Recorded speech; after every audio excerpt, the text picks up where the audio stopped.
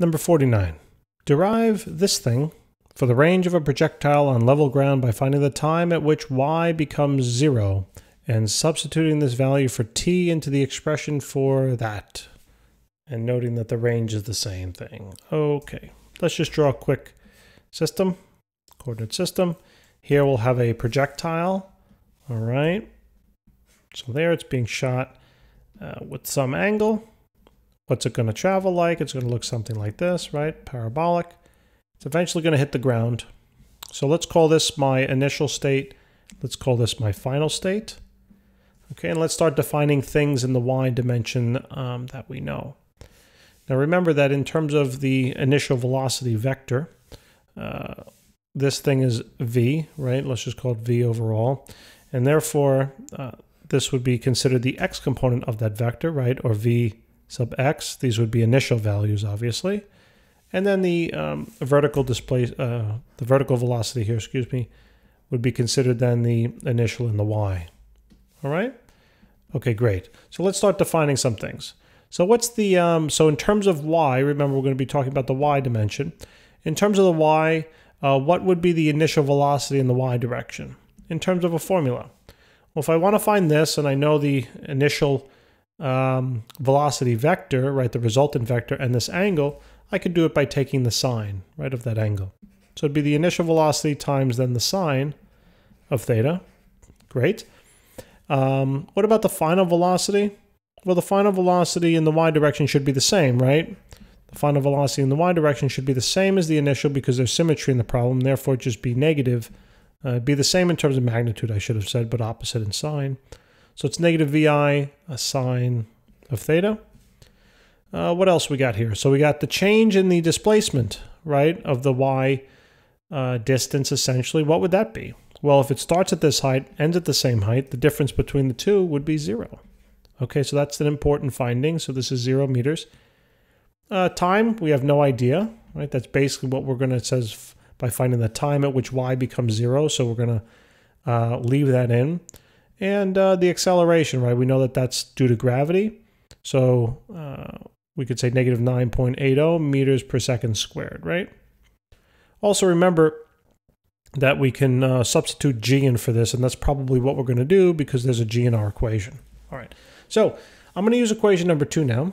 All right, so let's take equation number two, but instead of x, we'll talk about y. So change in y will equal the initial velocity in, uh, of uh, in the y direction times time plus 1 half a in the y direction times t squared. Okay, so we know that this is 0. That's great. The initial velocity in the y direction, well, we know it to be this value right here, right? The resultant initial velocity uh, vector times the sine of theta. And that whole thing is now multiplied by time. Okay, great. Plus 1 half times a sub y.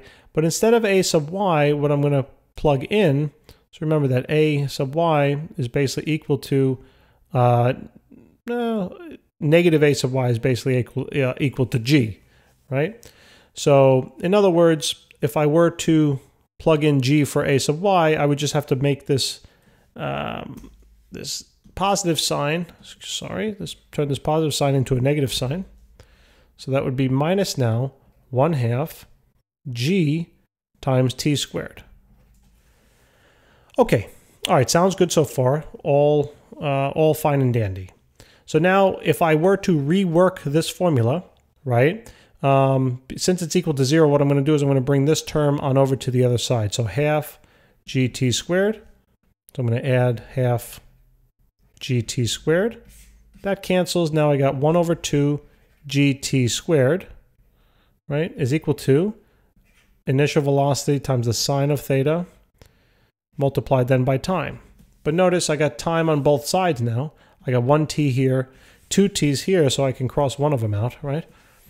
Now what I got is I got uh, 1 half, 1 half gt, whoop, gt is equal to initial velocity sorry, initial velocity times the sine of theta. And I want to get t by itself, okay? So let's get t by itself now. It's because we want to find the time at which the t uh, is uh, I'm sorry, the find the time uh, when y becomes 0. So we got to divide this out by half g. So divide this side out by half of g. So now let's rewrite the result on the left-hand side.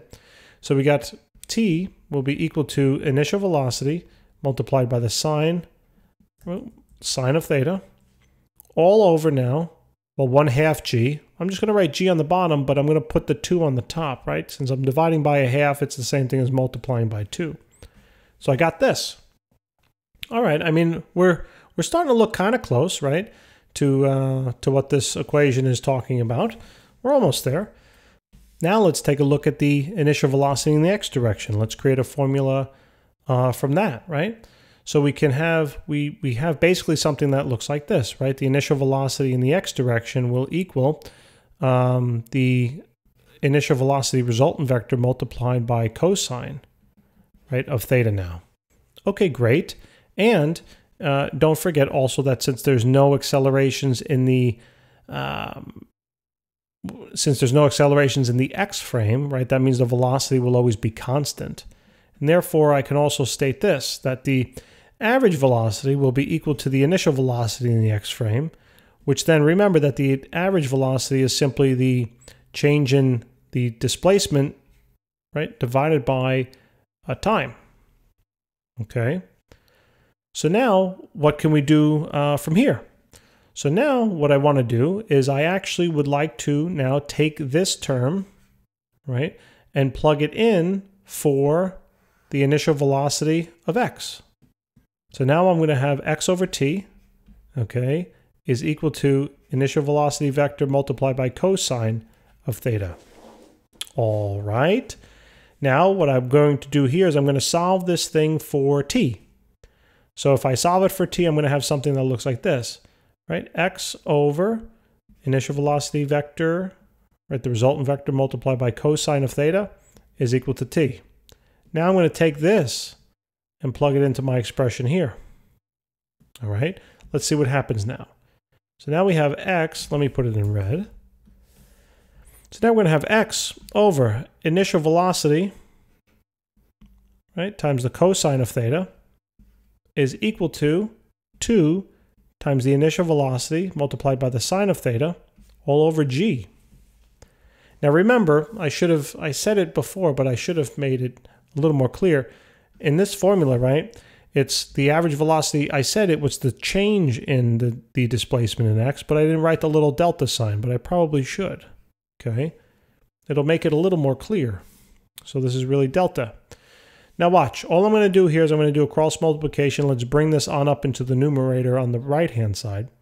So now I'm going to have something like this. Change in x is equal to, uh, this is going to be 2, eh, let me reorganize it this way. It's going to be initial velocity squared, right, times then uh, 2 cosine, oop, 2 cosine theta, sine theta, all over g.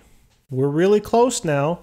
Now here's just the last little trick. Okay, you have to know this identity that this whole thing is like that double angle formula, whatever, um, where I'll write it at the top left. 2 cosine theta sine theta is the same thing as saying sine of 2 theta.